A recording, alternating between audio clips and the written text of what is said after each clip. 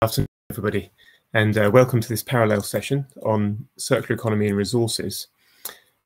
As you'll have gathered, I'm sure, from previous sessions, um, we've got two speakers session, and we're going to have speaker one first, followed by speaker two, and then time for questions at the end. So if you have questions as, as the talks are progressing, please do use the, the question and answer box um, and any comments as well. And then we'll pick those up at the end. And um, with a bit of luck, there'll be plenty of time for discussion at that point. So without further ado, I'd like to introduce our first speaker, who is uh, Richard Thompson. He's Professor of Marine Biology and Director of the Marine Institute at the University of Plymouth. That's a sister institute to the Sustainable Earth Institute. And Richard's pioneered research into the causes and effects of marine litter. And so he's going to talk to us today about plastics, identifying challenges and finding solutions. So if I could invite Richard up onto the stage, uh, over to you, Richard. Well, thanks very much, Will. I'm just going to share my screen so that you can see me. Hopefully, could yeah, just confirm you can see the screen. Uh, great. Oh, I can see it now as well. So, yeah, thank you very much. Thanks, for, thanks, Will. Thanks for the introduction. So I'm Richard Thompson. I'm professor of marine biology. I, I've spent more than the last 20 years, I guess, studying litter in the marine environment it's not what I thought marine biology was going to be about. When I when I went off to be an undergraduate, I thought it was going to be about coral reefs and turtles and sharks and dolphins. But somehow I seem to have spent my spent the last 20 odd years researching marine litter. And it's that topic that I want to talk to you about now. And I'm saying marine litter, and actually the talk's about plastic. And that's really comes from my first slide, which is to make it clear that there's lots of different types of litter in the marine environment metal, glass, wood, rubber, but the vast majority is plastic. 75% from this survey of European shorelines. And it's the same pattern more or less worldwide. Even if we go down to the depths of the ocean, we still find that plastic, plastic litter is the dominant form. And so I think the current focus on plastics and plastic waste is very justified. It's difficult now to walk on a shoreline anywhere in the world and not find plastic litter, literally within a few meters of walking. Here we see a plastic bottle on a shoreline in Slovenia. But if we take a deep sea submersible down to a place never before visited by humans, here we see the deep sea in the Mediterranean.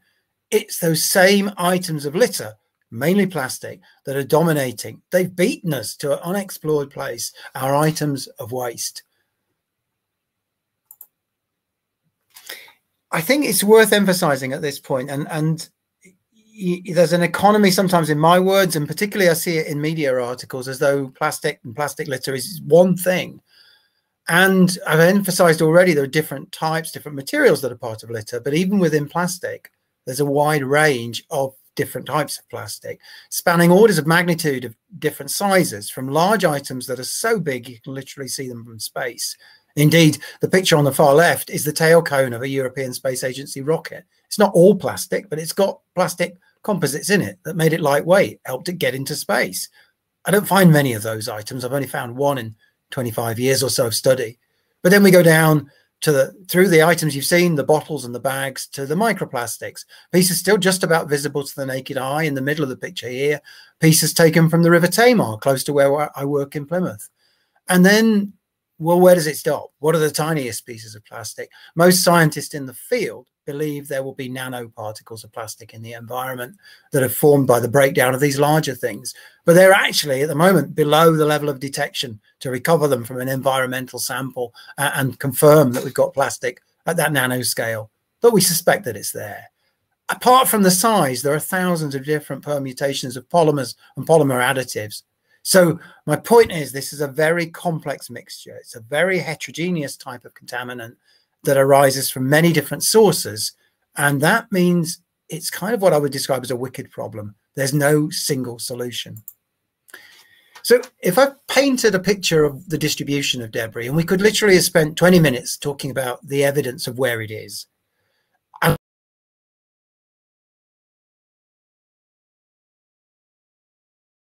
the model suggested 3.5, the quantities in the ocean are likely to triple. So it's very clear then that we've got a problem. I guess the next question that leads me to is, well, so what? Is it harmful? How harmful is it? And that's where I want to go next. And again, I could spend literally a whole talk um, dealing with the issues of harm. It's clear from what we know already that there's widespread economic harm, there's harm to human health and well-being, and there's harm to wildlife. Indeed, work from psychologists here at the University of Plymouth has shown that even relatively small quantities of plastic, um, the picture in the bottom, in the middle there, can cause negative effects on human well-being. That they significantly depress the what the psychologists would call the restorative value of our engagement with the natural environment. And those effects are likely to be occurring on a very, very broad scale across more or less the whole of the planet. The effects on wildlife are incredibly well documented. Uh, over 700 species known to encounter this litter. Many of those encounters are known to be negative and some of them result in fatalities.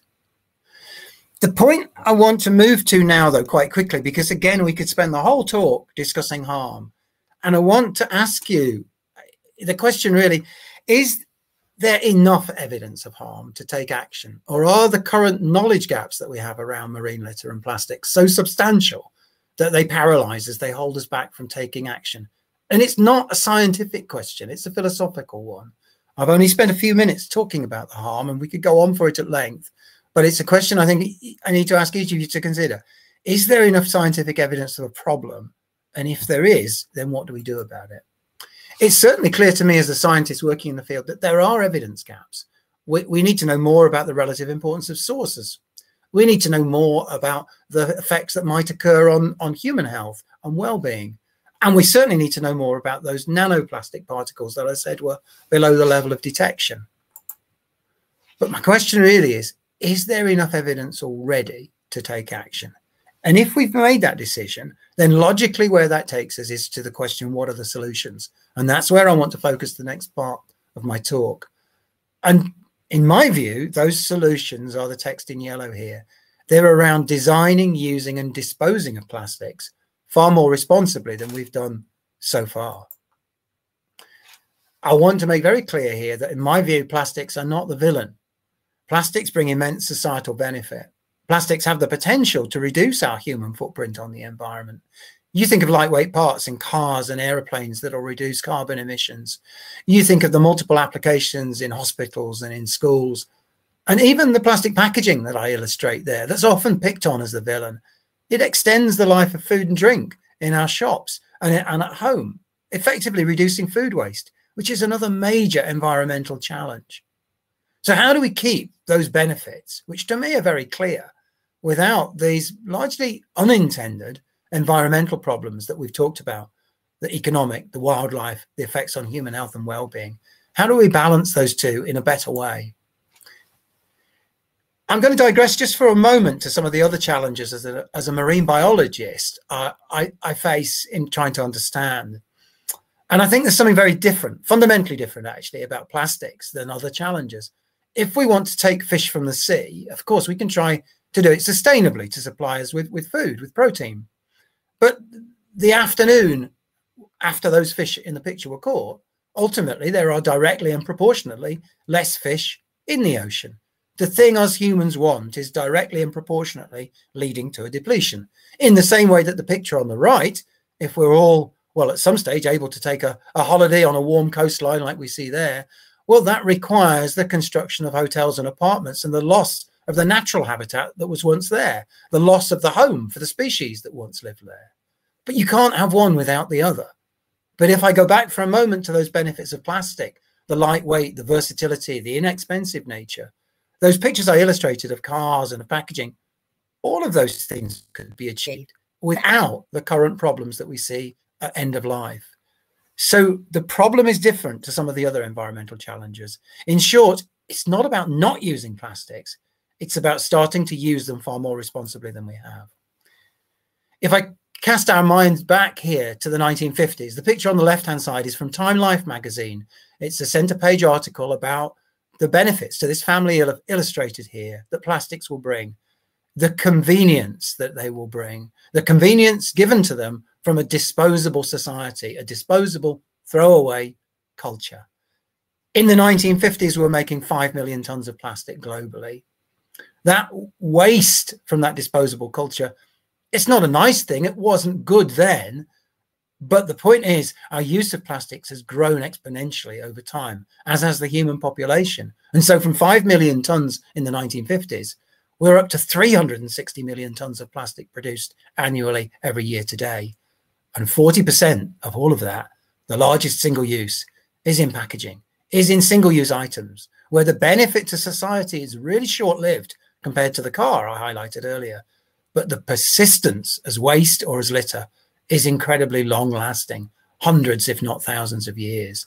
And that's the issue we need to address, where the benefits are short lived, but the waste that results as a consequence is long lasting. So what do we do? And and this is, you know, it's slightly frustrating because I feel that there aren't any new kids on the block here. We've known about the solutions for a long time. And they are about things like reduce, reuse, and recycle. They're absolutely still center stage. Reduce well, sure, there are things where we didn't perhaps need the plastic in the first place, and, and we should stop using them. And reuse is also, I would argue, a part of reduction. The reusable carrier bag that we see there with the elephant on it is driving down the, the, the use of single-use disposable plastic carrier bags. Did we all need drinking straws? Should we ban them? Perhaps we should.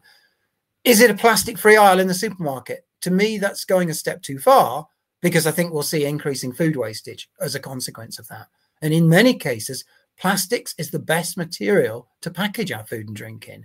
It's not about the use in packaging, it's about making sure we've designed appropriately.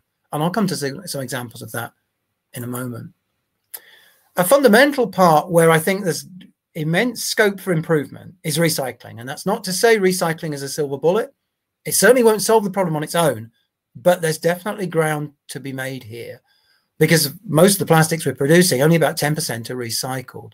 If we can crack this, and plastics are fundamentally recyclable materials if we design them appropriately, then we achieve a number of synergies because the carbon source for all the plastic is coming from non renewable oil and gas, about 8% of world oil production.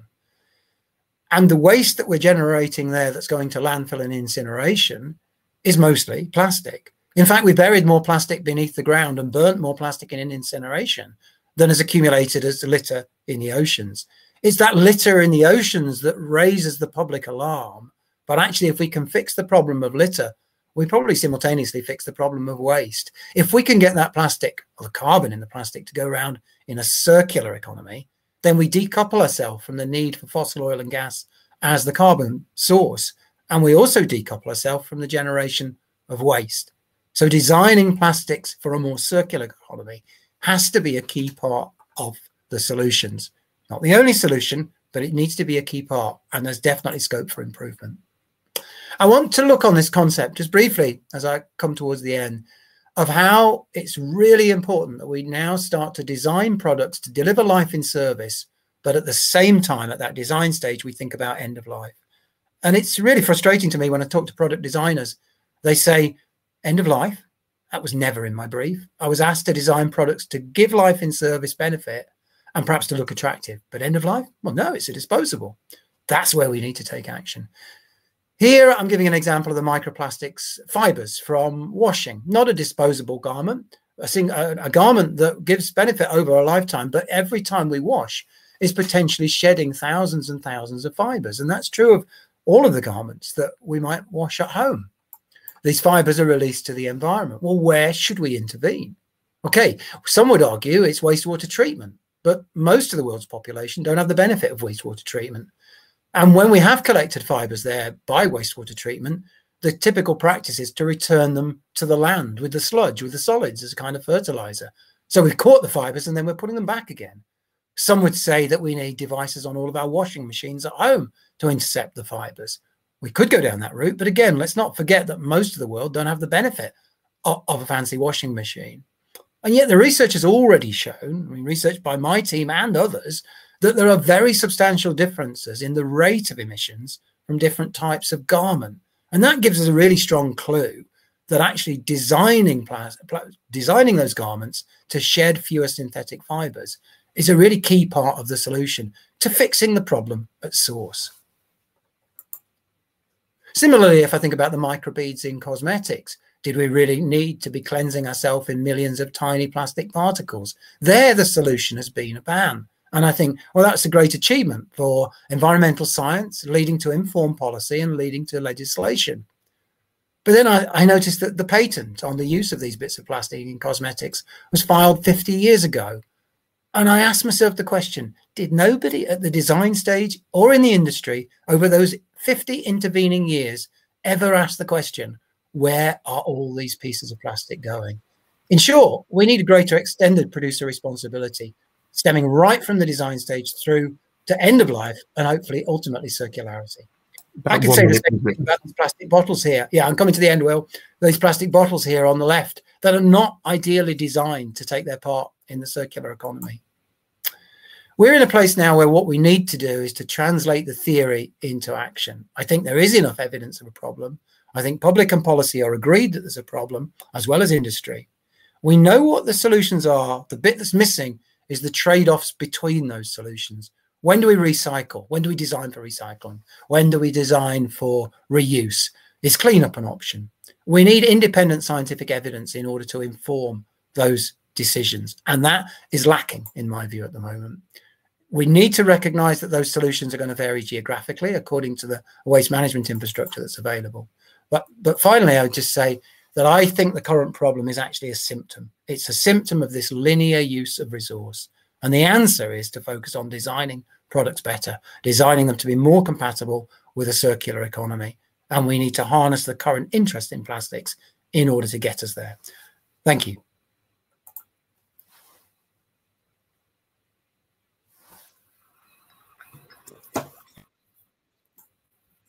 Many thanks, Richard. Some questions are popping up um, in the discussion piece, so we'll, we'll pick up on those shortly. Um, but first of all, I'd like to introduce our second speaker to the stage. Um, Konstantin Leonenko is the engagement manager of the Digital Fabrication and Immersive Media Labs here at the University of Plymouth. And he specializes in blurring the boundaries between the physical and the digital. And so I'd like to welcome him to the stage to talk to us about digital tools for sustainable practices. So over to you, Leonenko. Konstantin. Uh, thank you, Will. Just a moment, there's uh, a time to keep track of uh, my time here. Uh, thank you. Uh, thank you for welcoming me for the great. I think will uh, I'm looking all the conversations uh, that will come out of this because I think our thoughts overlap in uh, very interesting ways. So what I would like to talk today is how digital fabrication and immersive media is how they fit into the whole sustainability conversation. And uh, I'm not going to pretend that there's any kind of silver bullet, uh, single answer to, and there are no uh, single answer to any of these uh, uh, problems we're, we're dealing with and we're addressing. And uh, the way I would like to structure my talk is just to give you an overview of some of the most interesting case studies that contribute to this conversation, and hopefully that would steer our conversation further. So to start with, uh, I would like to define uh, what what do we mean by digital fabrication and immersive media. So both of the technologies uh, they start with code. When we turn code into things, we call digital fabrication. So the whole vocabulary of uh, abbreviations like CAD, CAM, CNC, 3D printing, manufacturing, all of these belong to the digital fabrication land. Whereas when we talk about immersive media, uh, we talk about uh, code turn experiences and the whole vocabulary of, again, virtual reality, augmented, extended reality, full dome, all these belong to uh, media. Some of you may have recognized uh, the two references to Star Trek uh, sci-fi series. Top one is Replicator, uh, that is used often as inspiration for a lot of digital fabrication technologies. And the holodeck on the bottom uh, that was uh, that is often referred to as the ultimate immersive experience. Uh, the interesting thing happens when we fold the digital fabrication immersive media uh, when we turn the physical world back into digital using tools such as 3D scanning or motion capture and what we have it is pretty digital simulation of the world, which we can then use to better design yet better digital fabricated objects and yet better digital experiences, immersive experiences. So how these technologies are relevant.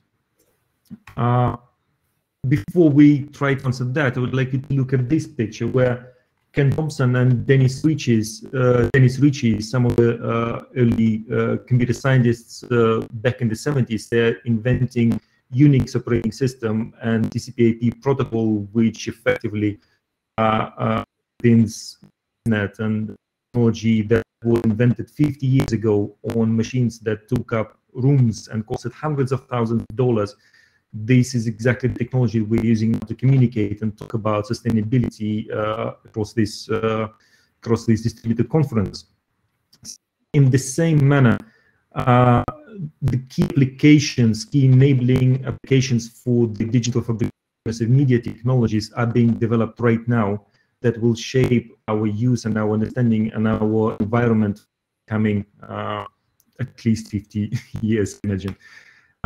So let's get just some case studies. Uh, OpenDesk is a British company headquartered in. They have built distributed manufacturing platform that connects uh, makers, designers, clients to one seamless experience, effectively a uh, global digital supply chain for physical goods. So if you want a new uh, a new chair table in your uh, in your room or in your office. Uh, you go on their website, you launch the augmented reality app, you position it in your space, you adjust it as you see fit, the size and the height of your table. Uh, you order it, the order gets uh, sent to the local, to your closest manufacturer, and the platform processes uh, uh, this transaction, making sure that everybody benefits in the in the process. another interesting perk is that you can all of the designs are licensed under Creative Commons license, which means that you can use it for free for non-commercial use. So if you just want to share for yourself uh, and you have access to these kind of machines, you can uh, you can do it for free. WikiHouse, effectively another British uh, initiative uh, that uh, uses effectively the same materials, same plywood, same sheet of uh, timber, and the same technology same CNC routers, but this time they're addressing global house problems. Uh, they're developing user-friendly, easy-to-assemble kits uh, that are actually architecturally compliant and passed all the regulations and certifications. And again, you can download their houses for free and build them if you have access to this technology. Uh, both of these things actually can be uh, there's term being developed now that's being kind of established that's called digital timber which allows to uh, to develop, design, model, uh, and simulate timber structures that were even 10 years ago that were almost unthinkable. But right now we can simulate them, we can make them energy efficient uh, and easy to manufacture and transport and assemble, all thanks to them being perfectly uh, digitally simulated and being able to work with them uh, with them in an uh, immersive uh, tool chain. So on the architectural uh, uh, landscape, another very interesting initiative is Italian company called WASP. they call themselves the WASPs that build houses out of clay, and this team has developed technology that local raw earth and clay with some minor additives, uh, but effectively 100% reusable material to 3D print houses on location. Each house takes about 200 time, which is just about uh, under, just under a month, uh, depending on your work schedule. And uh, house is described in 7,000 lines of code. Just an interesting thing, which is uh, probably less than, than your email. Uh, uh, an interesting French initiative called Happy 3D. Uh, they have set set up kind of portal that allows people to design, share spare parts for their for their consumer goods, like handles for toasters or vacuum cleaners, and people can easily repair their objects by having access to this uh, to additive manufacturing and to 3D printing technology. And we can see that in this sense, additive manufacturing is a enabler for right to movement that is uh, gaining momentum. Uh, some other companies are taking additive manufacturing to the space. Uh, an American company called Relativity Space uh, using by 3D printing their rocket. Uh, in some cases, they're able to cut down parts count from 3,000 to 30 parts and effectively produce rockets with zero wasted material rather than 80 or 90% wasted material that's uh, normally generated during standard subtractive manufacturing processes where you remove material from, from parts and then uh, put the parts back together. This way, complete rockets can be printed in just under two months. Uh, here is this interesting case study from Airbus and Renishaw. Uh, Renishaw is a British manufacturer of 3D uh, printing, metal 3D printing uh, systems, and they have calculated that uh, place this manifold block, which, uh, effectively a huge chunk of aluminium, was drilled in it to uh, to reroute uh, various gas and liquid uh, pressurized uh, gases and liquids, which used to weigh 25 kilos. They shaved it down to 12 by 3D printing them. They would replace this one single, very primitive, simple part on the aircraft. They would save nearly metric tons of CO2 every year. Uh, BMW and NVIDIA, NVIDIA being the biggest uh, uh, company, becoming the new, very quickly becoming the new Intel, uh, they have their developing technology uh, for digital twin factory where they can simulate complete factory down to every single nut and bolt, including digital humans, uh, which they use to tune ergonomics of their workplace. And they can plan single part of this factory even before the first stone hits the ground, uh, which also allows uh, uh, people across the globe to collaborate and to uh, to discover how uh, basic ergonomics of the user capture to track how people would be handling objects on the shop floor before that even before the shop floor even exists. So what we see ultimately is that digital fabrication immersive media, they completely reshape and restructure whole supply chains. Uh, and suddenly terms like virtual warehouse become uh, not a sci-fi, but a very practical term, very uh, uh very solid business decision that instead of putting your parts uh, in physical warehouses, you store them in on, uh, on online service and then get manufacture them on demand locally where they need to go to and the quantities that you need. Uh, so on this, what is uh, what is happening in our labs? Uh, how how what we do uh, even remotely lines to what has been just kind of uh, discussed, shown. So, for example, there is this little project that uh, our technician James Yard has helped to uh, has helped our estates team to repair 45 uh, locks that uh, that have been broken on different places of campus, and not just saving 3,000 pounds to our team, uh, to our estate team, they saved 45 of these high-tech locks from hitting the landfills. Uh, same technician, James, has recently helped uh, bring back to life 5,000 pound Mia cameras and put them back into of our students by just uh, uh, redesigning and uh, reprinting wind-up letters for these for these cameras that were that are now very difficult to obtain, nearly impossible. None of this is being manufactured anymore, of course. So our students uh, use digital manufacturing and additive manufacturing, particularly to to try to understand what uh, repair means uh, in this context. Uh, what is it in the age of digital fabrication? How things can be designed and how uh, a general population perception of what what it means to repair objects and why we're repairing objects. Uh, he makes these beautiful, uh, beautiful artifacts uh, of very symbolic but very aesthetic repairs of porcelain objects and sculptures.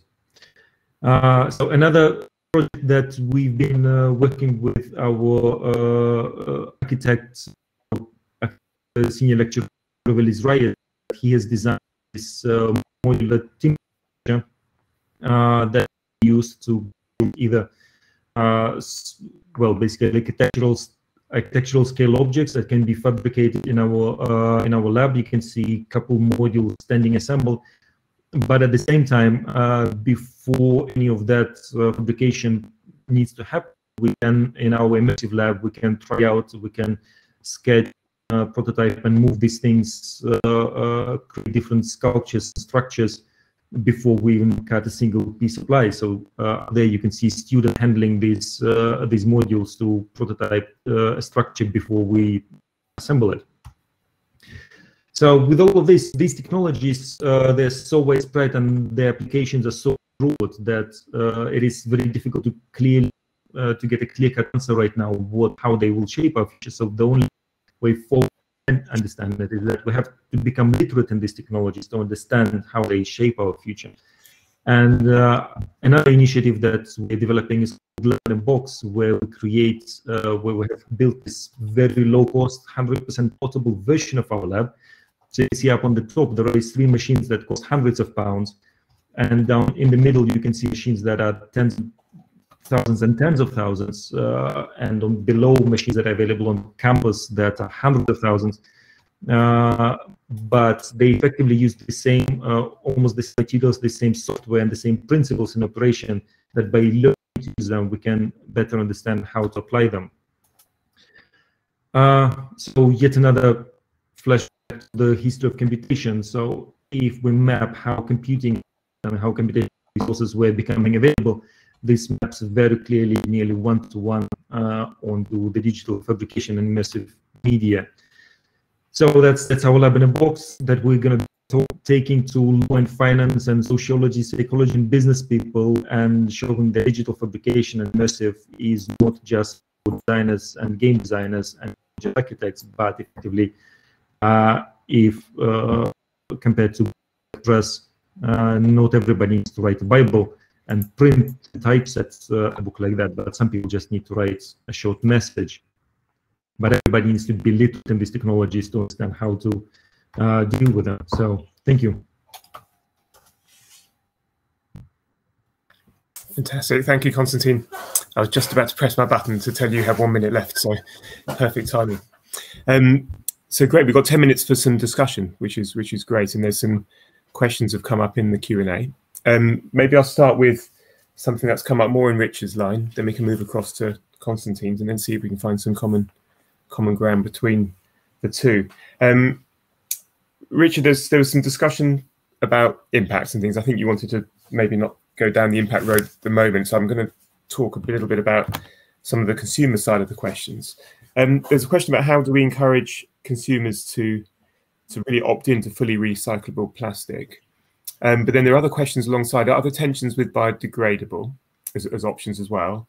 And also a point was made that that even high quality PET plastics will degrade during recycling. So there's only limited life okay. in terms of recycling. So sort of three angles there to sort of. No, let me try and wrap them up then in one fairly succinct reply. But keep keep me on track, Will, if I'm ram if I'm rambling too much. So, I mean, to the to the first to the overall point of communicating with the consumer, yes, education is really going to be critical.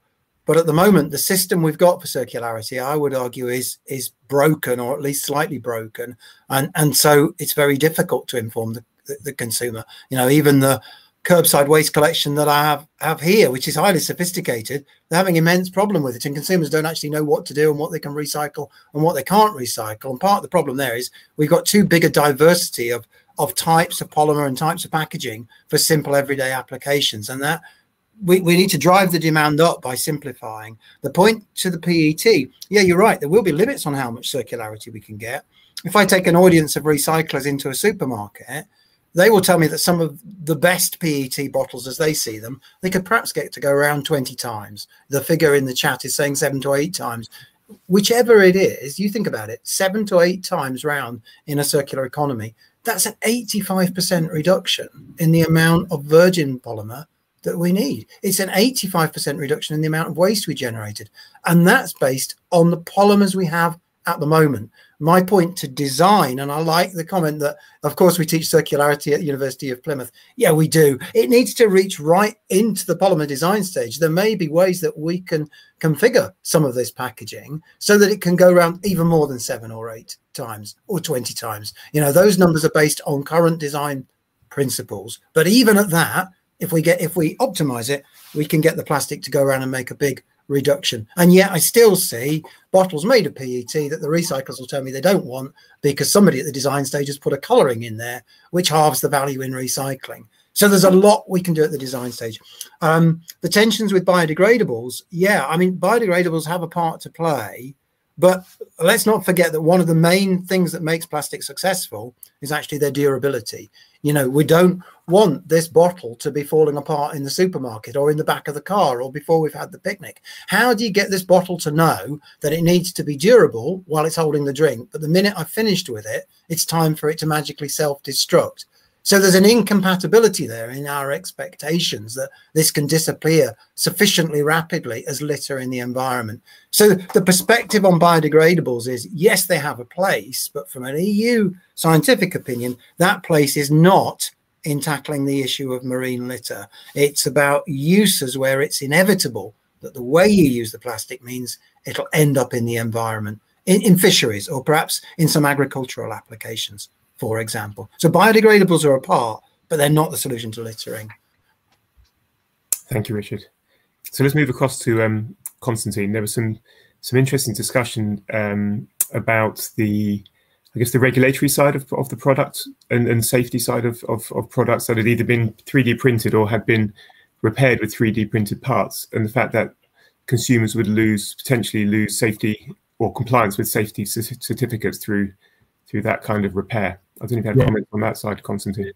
It's fantastic question, and I think the the answer to me lies in just the formulation and the how deeply the word consumer is embedded in our culture. Uh, we see ourselves as consuming these things, and that somebody else takes care of the responsibility. Somebody else needs to design a safe thing that be mindlessly consuming and that is just incompatible with the way uh, how you would uh, how would you be able to repair. Uh, if you repair it, take responsibility for yourself for the repairs. Uh, of course, if you send out repair to somebody, you outsource that responsibility. But it is uh, is I think one of the most problematic things, just this understanding of consumer and regulation of consumer market that somebody else uh, needs to regulate everything that happens. So it is uh, that's that's why I think uh, my key answer to that is developing literacy around using these technologies. It's about understanding uh, not just uh, how do you design a pretty bottle, it's about how do you design, how do you make and how do you use a bottle uh, that that that would tick all these boxes and and maintain its function and be recyclable afterward. So, um, does, does that anywhere uh, answer? Yeah, thank you. I think that that brings certainly brings a new perspective to the debate. There's there's some interesting discussion that you should um you should look, Konstantin, when you have time afterwards. Mm -hmm. if we can bring that discussion across to a discussion board, I think that'd be really handy afterwards. So there's some there's some nice opinions in here that that need ironing out. I think. Mm. Um, something just to build on that, um, Konstantin. There's a question as, as to mm -hmm. whether you can combine a repair cafe with a 3D printer and, oh, and oh, yeah, how long it might take. So, so you, you, gave some examples of repairing component parts mm. on everyday items. How long does that take? Uh, it depends on the part. Some parts can be printed in minutes. Some parts can be uh, need to be take uh, I don't know hours and sometimes days to print. But I think most of the consumer uh, again this this this but for, for kind of for most of the consumer goods that need to be uh, repaired, those uh, those simple parts can be printed in minutes. Uh, it takes uh, it may take a bit longer to design them, and it may take several iterations to get it right. Uh, so it's the design process uh, that is normally the bottleneck, not the printing time. Uh, but it's exactly that design and that understanding of how do you shape these objects, how do you create them, is uh, what can be what can be taught. if that if that becomes part of this curriculum, uh, as much as basic reading and writing and numeracy skills are. if everybody is able to uh, to design these things uh, how they need to, uh, there's all these bottlenecks effectively eliminated. It's not the 3D printing environment that, that is the obstacle able to design these things. Sure. No, that makes a lot of sense. And if we can move back across to to, to you, Richard, for for a moment. Um, there's a question: if if we were to stop all plastic production tomorrow, sort of a hypothetical question, could we mop up all the plastics already in the environment? And I guess sort of to add a little nuance to that, and what would the incentives? Where are the incentives and gains to that as well beyond the environmental? Yeah, it's. I mean, it's it's a really good question, and and I, and it's back to the point that I made about we need better evidence around the solutions, and and it's although it was beach cleaning with Marine Conservation Society that first got me into the topic of plastics. And I think that cleaning beaches is a, is a really, really, really good thing to do. It raises awareness and it takes the litter out. But let's not forget that if we see that as the answer, if we see cleanup as the answer, then we're going to be cleaning up in perpetuity. Our children and our children's children are going to carry on cleaning up. And to me, in terms of technological fixes, I feel at the moment we've got too much money being invested in the idea that there's going to be a magic technological vacuum cleaner that's going to scoop all this stuff out of the oceans. Would be far better at the moment to focus on turning off the tap. The same way that if the bath's overflowing, you don't focus on mopping up the floor, you try and turn off the tap. And that's where we've got to be investing 90%, 95% of our resource at the moment is learning how to turn off the tap. As we do that, then I think the spend on cleanup it could rightfully increase. But at the moment, it's just going in so much faster than we can hope to take it out. So I'm almost it's I hate to say it as a marine biologist, but I'm almost not worried about the cleanup. What worries me immensely is that the bath is overflowing and we're showing no signs of turning off the tap. And so there's a slight tension there that, and I, I think hmm. we've got to focus on turning off that tap, even though I want to see us subsequently move to cleanup, but it's going to be very challenging to remove microplastics. And I think there's a fallacy there for us to imagine that we're ever going to be able to cleanse the oceans of them. So let's get that tap turned off quickly. Thanks, Richard. And one more question for you, Konstantin. Um, how do we ensure manufacturers give consumers the knowledge they need to take responsibility for the products they purchase? So when it comes down to the repair, so it kind of picks up on the debate that's been going through in, in the question and answer. So I don't you have a quick comment on that before we close? I think I think the, the biggest uh, ongoing initiative for that is the right repair. Uh, uh, that is the single kind of currently uh, most widely adopted and most uh, momentous uh, Uh, initiative uh, that is that is already making uh, change in this in this area. So hence this Happy 3D website, hence a number of manufacturers are already publishing publishing I'm sorry, I didn't bring this one up before, but it's not necessarily immediately related to digital fabrication. But Fairphone is a Dutch company uh, that uh, designs from scratch repairable and replaceable uh, phones. And they were the first in the industry to establish as well uh, fair trade gold supply chain for their phones. And uh, so they're aiming for completely conflict-free mineral supply chains for the phones. So there are already uh, substantial initiatives that direction and just kind of the more uh, uptake we have on the society level for this the, the, stronger they become but there's already very focused initiatives driving that excellent thank you so i think we're, we're slightly over time it's it's break time now so i want to make sure everyone has time for a, a screen break before the next session so on behalf of the uh, the audience and, and and the team thank you very much to both of our speakers for some really stimulating talks which has in certainly triggered some great conversation in the question and answer. And as I said before, I hope we can bring that across to the discussion boards to continue. So thank you very much. Thank you.